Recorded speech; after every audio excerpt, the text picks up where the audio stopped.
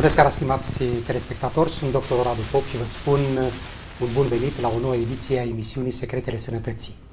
În această seară am doi invitați, invitați deosebiți, de aceea vă rog rămâneți alături de noi pe parcursul celor două ore cât durează această emisiune și anume pe domnul profesor de Biblie Orășanu Andrei și pe domnul doctor Barbu Emil.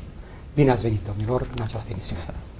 Sunt onorat că sunteți alături de mine și am să fac o mică explicație uh, telespectatorilor de ce am invitat un profesor de Biblie și un medic și de ce pe masa noastră există două sortimente de pâine.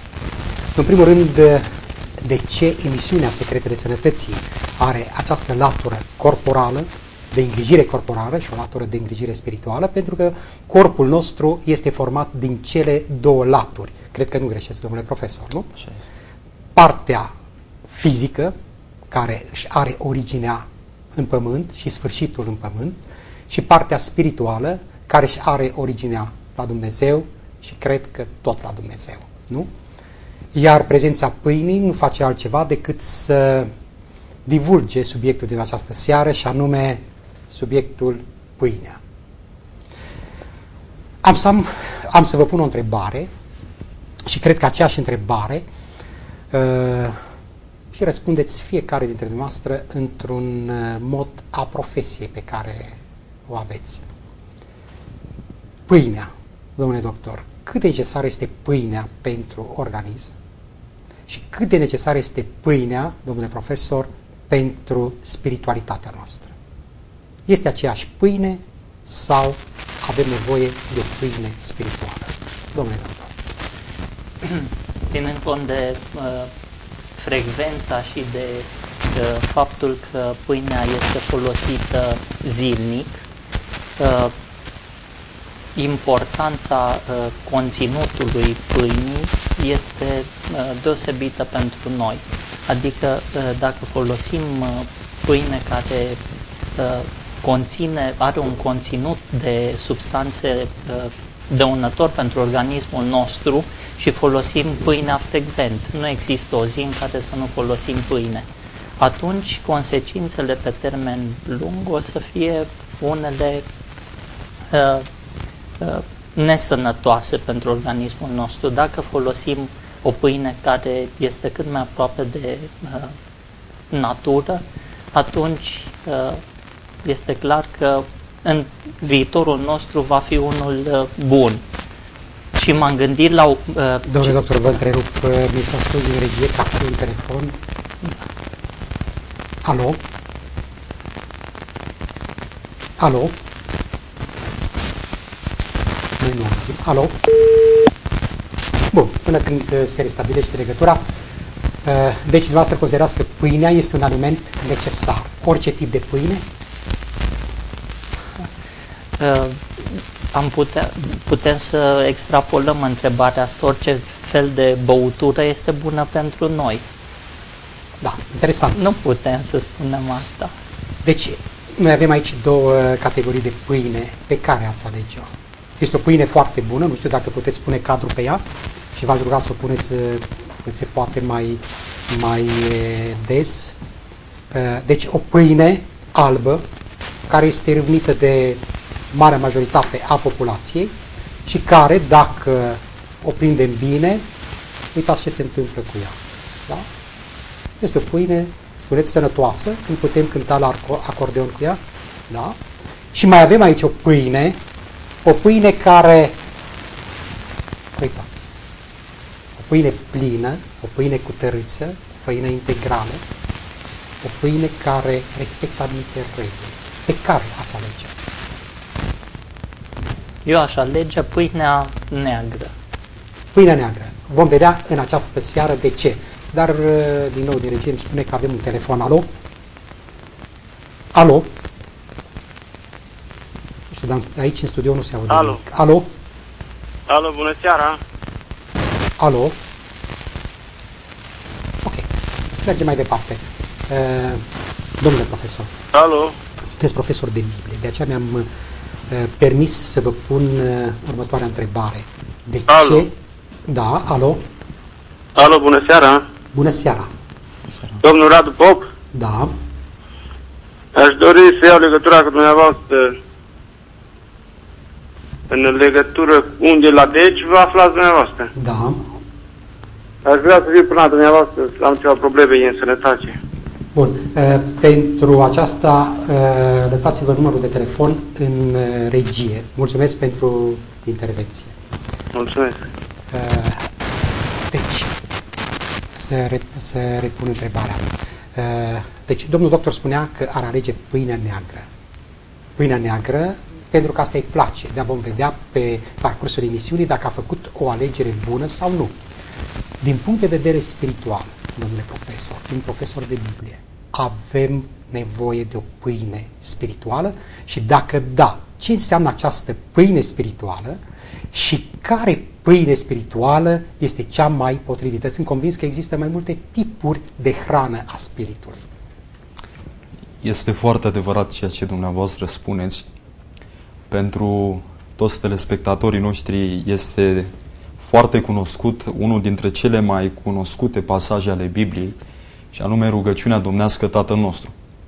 Dacă vă aduceți aminte, una dintre cele mai folosite fraze astăzi este acel dicton care spune pâinea noastră cea de toate zilele, dă-ne nouă astăzi.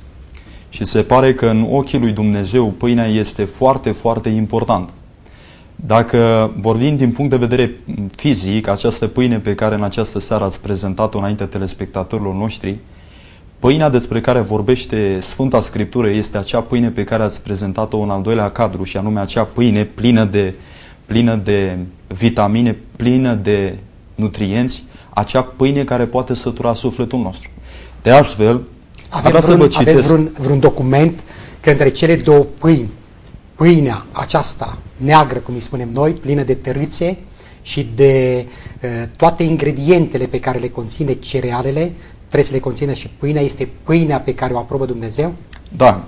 Aș vrea să deschid un verset din Sfânta Scriptură, se găsește în cartea Ezechiel, în car- o carte a Vechiului Testament, Ezechiel, capitolul 4, cu versetul 9, cuvântul lui Dumnezeu spune așa, Iați și grâu, orz, bob, linte, mei și alac, pune-le într-un vas și fă pâine din ele câte zile vei sta culcat pe coastă. 390 de zile să mănânci din ele. Zeroat, Sfânta Scriptură vorbește despre o pâine deosebită. Este o pâine care are vitamine. Este o pâine sănătoasă. Este o pâine, o pâine care dă putere, dar este o pâine care îl reprezintă pe Domnul Isus Hristos. Dumneavoastră aveți în această seară două tipuri de pâini. O pâine adevărată și o pâine falsă. Domnul Isus Hristos, Fiul lui Dumnezeu, tot timpul se identifica pe El ca fiind adevărata pâine. Vreau să vă citesc acest verset din Biblie. În cartea Ioan, capitolul 6, Domnul Hristos vorbea mulțimilor și spunea astfel. Ioan, capitolul 6, vrem să citim împreună de la versetul 31. Iisus vorbea așa. Părinții noștri au mâncat mană în pustie, după cum este scris. Le-am dat să mănânce pâine din cer.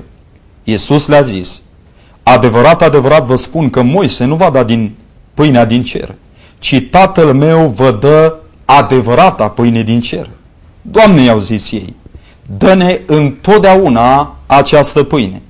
Iisus le-a zis, și acum ascultați cu atenție, eu sunt pâinea vieții. Cine vine la mine nu va flămânzi niciodată și cine crede în mine nu va înseta niciodată. Îmi place foarte mult această analogie în Sfânta Scriptură și anume că Domnul Isus Hristos se identifică cu adevărata pâine, cu pâinea aceea care satură, cu pâinea, pâinea aceea care aduce liniște și pace sufletului și care poate umple golul omenesc. Cred că aceasta este pâinea pe care noi trebuie să o consumăm. Domnule profesor, rămân uimit că dumneavoastră în Biblie ați găsit uh, două lucruri deosebite. Și în primul rând, o pâine sănătoasă pentru corp, pentru partea fizică și pâinea pentru partea sănătoasă, pentru partea spirituală. E un lucru care sunt convins că ne va da mult de gândit. Iisus, pâinea vieții, iar pâinea multicereală, pâinea din cereale integrale, este pâinea care poate să asigure, spuneați acolo, 300 de zile, dacă nu mă înșel, da. consumând numai pâine, uh, omul poate să trăiască. De ce, domnule doctor?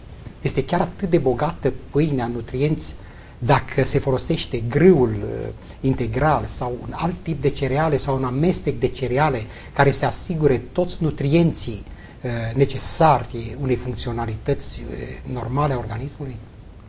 Dacă am uh, început discuția pe această filieră a uh, Sfintei Scripturi, uh, aș vrea să răspund uh, tot uh, pe această... Doar.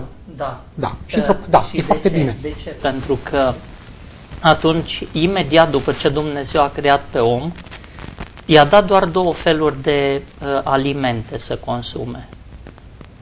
Orice iarbă care face sămânță și orice pom care are în el rod cu sămânță. Aceasta să fie hrana voastră. Deci alimentația inițială a omului a fost două sortimente, uh, două feluri Cereale de și alimentație. fructe. Da, atât. Și zarzavaturile?